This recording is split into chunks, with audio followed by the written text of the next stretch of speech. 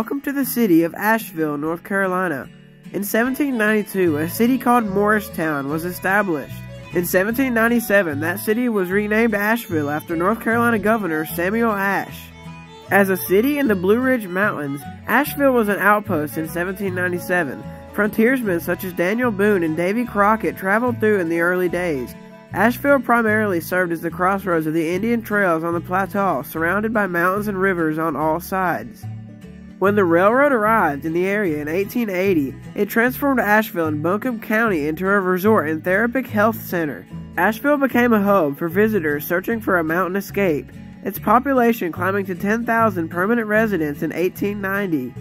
Today, Asheville is known for a vibrant art scene and historic architecture. The downtown art district is filled with galleries and museums, and in the nearby River Arts District, former factory buildings are turned into breweries and studios. But today's objective was to chase one of the last Norfolk Southern P-87s out of Asheville Yard all the way to Bridgewater and back. We got started early in Norfolk Southern's Asheville Terminal. Train P-87 would begin his day around 6 a.m. with his six empty cars for the Bridgewater chip mill.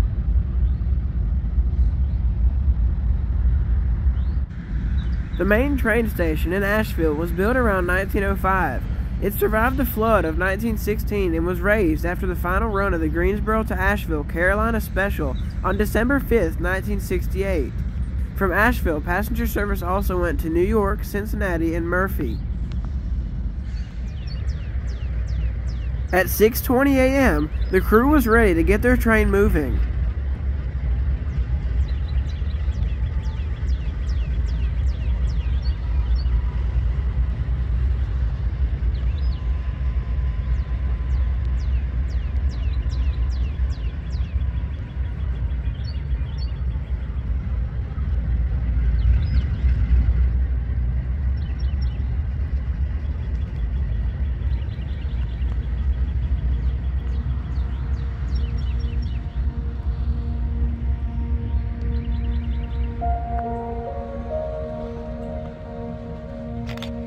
Around 7 a.m., the crew brought one of the last P 87s over the switch at the control point Biltmore.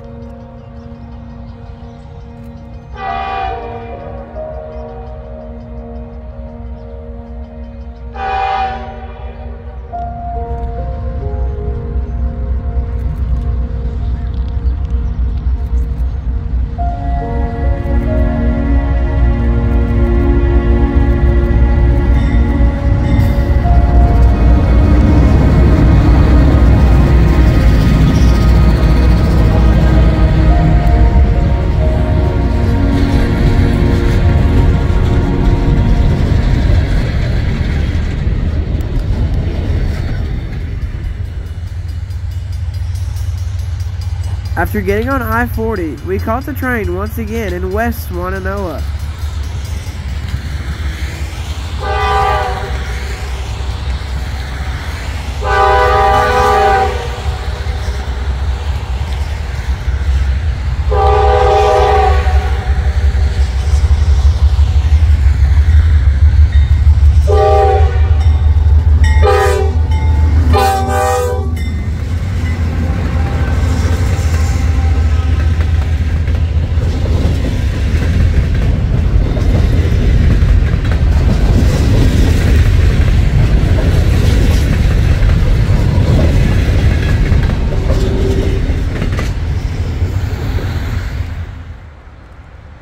We hit the road and jumped ahead of the train again in Swannanoa, North Carolina.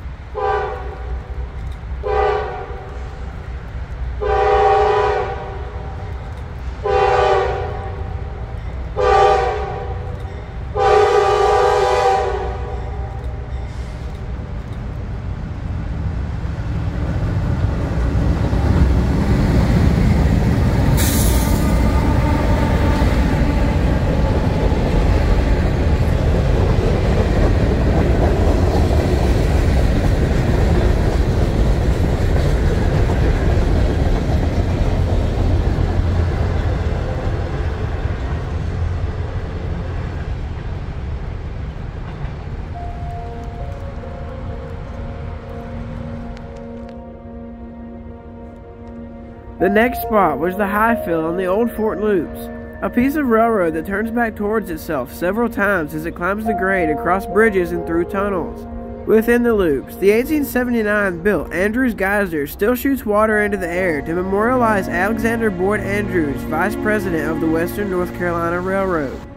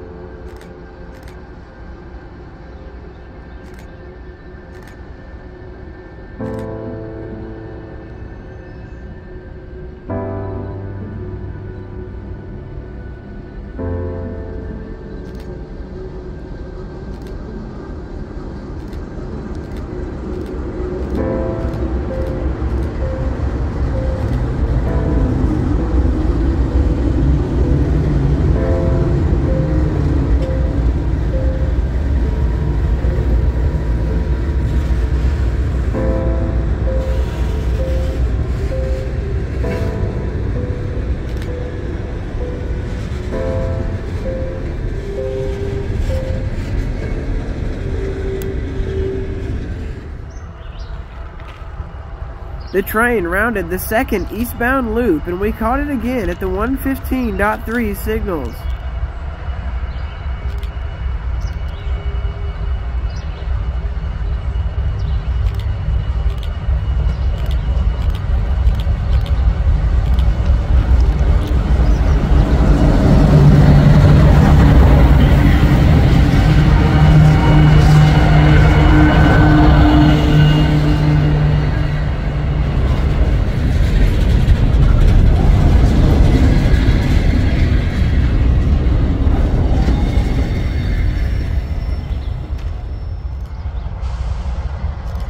We caught up with the train again just before he enters Old Fort, North Carolina.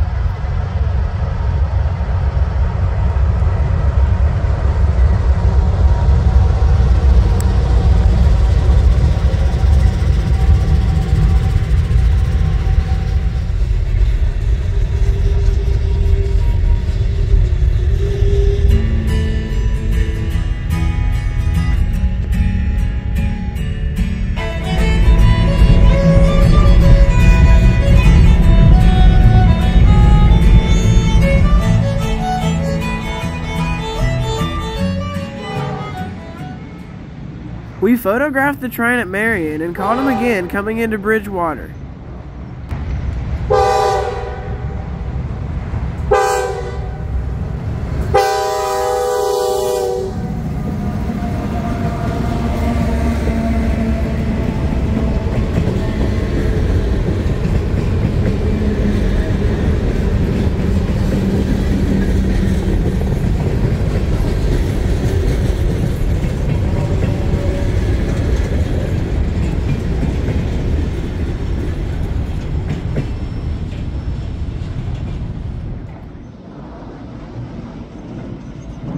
Industries was founded in 1984. The chip mill was sold to a company out of Rutherford County, North Carolina a few years ago and is called the Bridgewater Chip Mill as of now.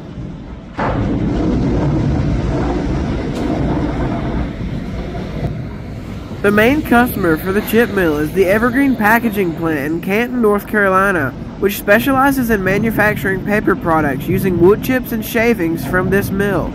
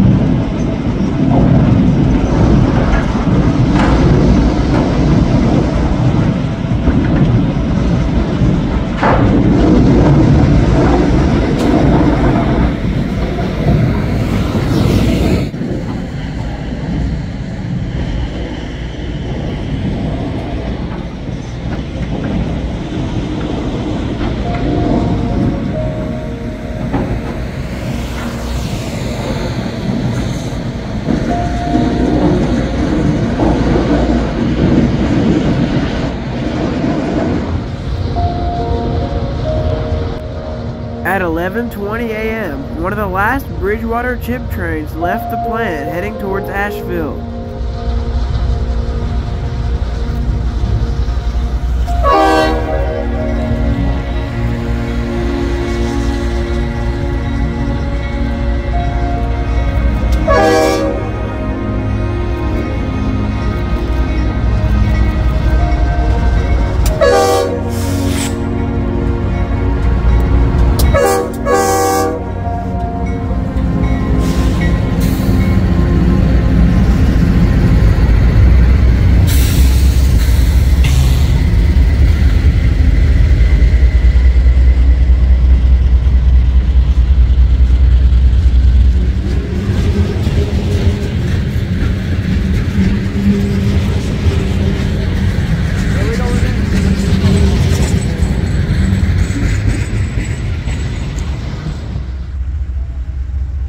After leaving the Bridgewater Mill, we caught the train again in Marion, North Carolina.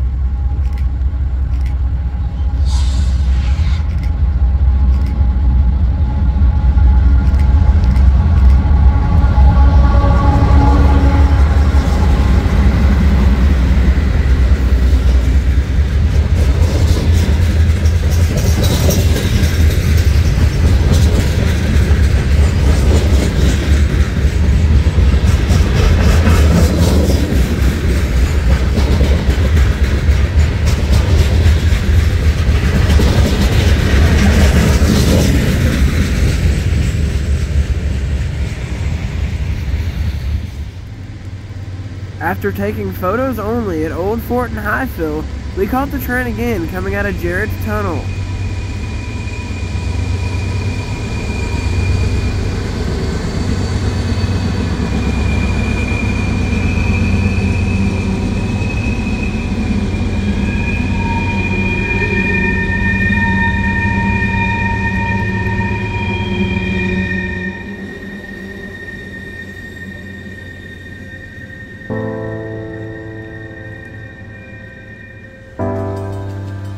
We made it back to Biltmore just in time to see one of the last P-87s roll back over the switches.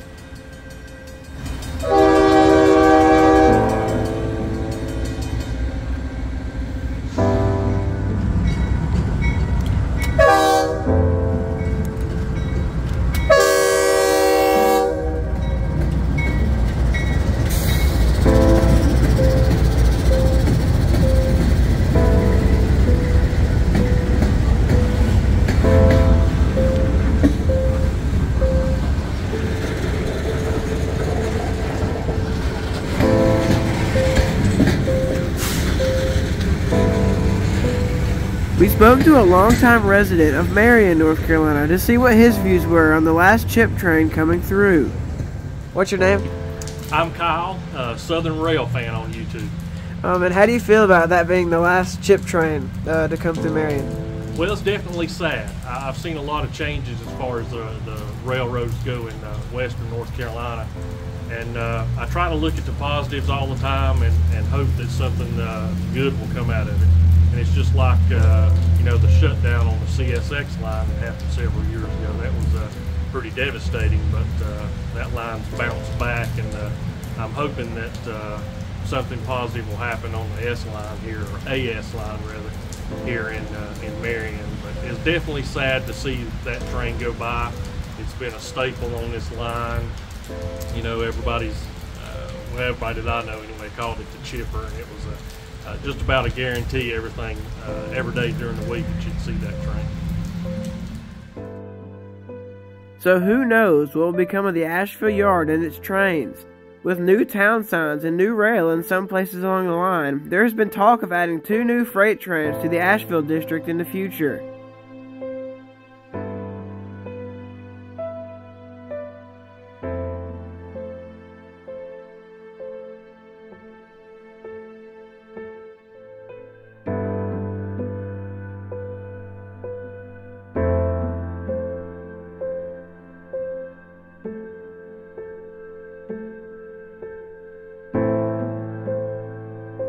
But for now, it looks like freight railroading in the heart of the Blue Ridge is fading away for good.